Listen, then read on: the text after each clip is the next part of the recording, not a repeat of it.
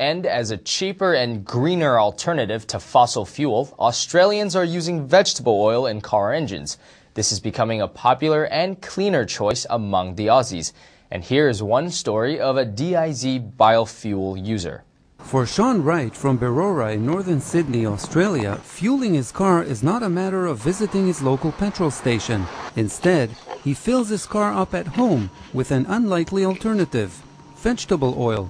With a little know-how, making the switch to vegetable oil is a relatively easy process. Wright filters his oil in barrels, then converts the filter in his engine. Wright says vegetable oil runs more smoothly and quietly than diesel.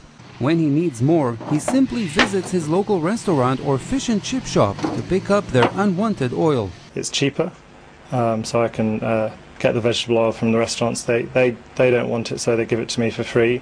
There is quite a lot of effort involved with the filtering and the conversion of the vehicle, but um, yeah, there's, there's a number of reasons, and uh, um, you know, the, the, environmental side is definitely one of them. Robert Fyvie from the Biofuel Users Association in Australia says he's noticed a rise in the number of people using vegetable oil and biodiesel.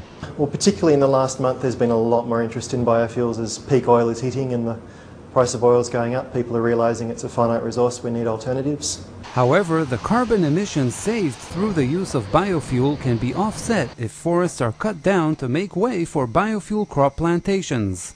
Overseas in Indonesia and Malaysia and other parts of Southeast Asia, they're clearing vast areas of jungle and planting palm trees so they can produce lots of biodiesel for the European market from palm oil. But this is really devastating. Clearing the jungle not only destroys the biodiversity, the animal life and plant life, but it also produces very big amounts of greenhouse gas emissions. So this is not an ecologically sustainable pathway.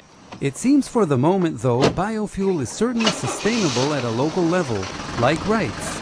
The oil he uses is waste and was going to be thrown out anyway, so he can drive happy knowing he is helping reduce his carbon footprint.